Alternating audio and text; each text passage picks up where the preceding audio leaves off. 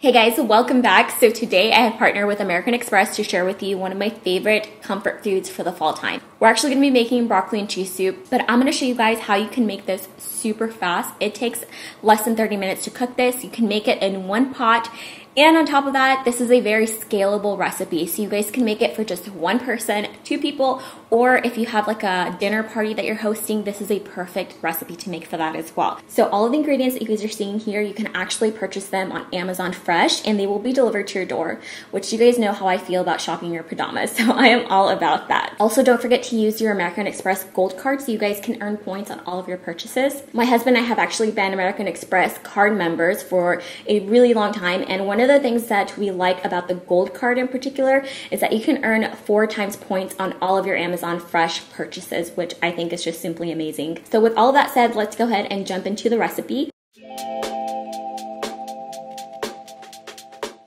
So we're gonna start by creating the base of the soup. This is probably the most important step out of the entire recipe. So I have the stove on medium high heat and I'm adding two tablespoons of butter and I'm just kind of letting that brown up a little bit. Then I'm gonna add a fourth of an onion. I'm gonna mince that up, add it to my butter, and let that saute for about one to two minutes until it's nice and translucent.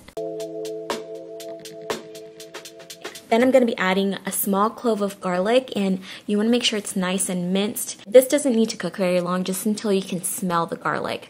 After that, we're going to add two tablespoons of flour. And this is what's going to thicken up the soup. So definitely don't skip this step. I'm making sure to mix that really well with that butter so it's nice and mixed together. It's gonna form almost like a paste.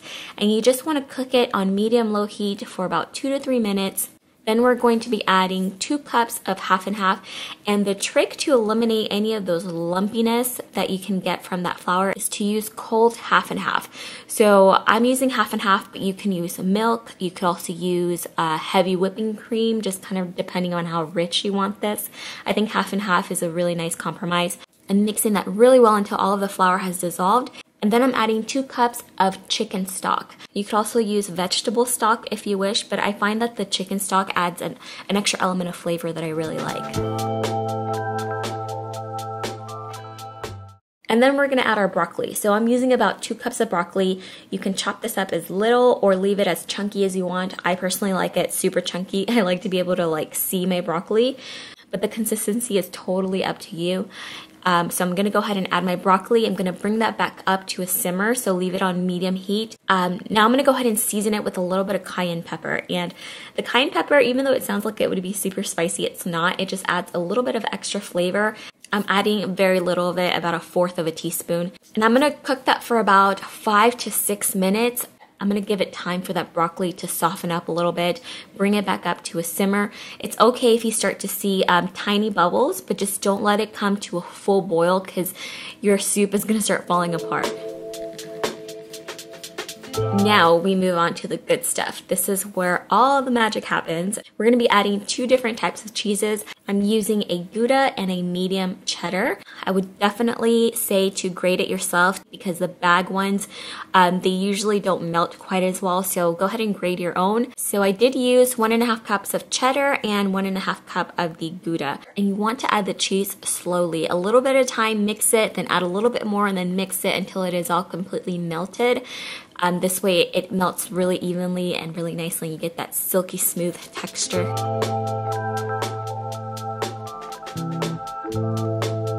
We are almost done, you guys. I'm telling you, this recipe is so quick. Once you guys try it, you're gonna wonder why you never made it. um, the last little trick, and this is totally optional, but um, if you use a lot of white cheeses like I did, it is gonna lack a little bit of that golden yellow color, so you can add just a tiny bit of turmeric to it, and this is going to increase that yellow color. It's gonna look more like your traditional broccoli cheese soup. Again, this is just for aesthetics. It does absolutely nothing for the flavor and we are ready to plate our soup.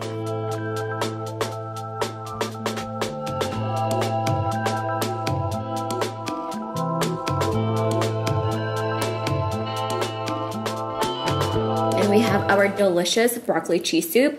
I like to add a few extra touches. I'll add a little bit of raw broccoli on top. You could totally like steam this beforehand, but I do like the crunch of the actual broccoli and then some extra cheese, some red chili flakes, some pepper, and then I also love finishing salt. If you guys have never used finishing salt, they are basically like crystallized chunks of salt and they're just absolutely delicious to top any dish off.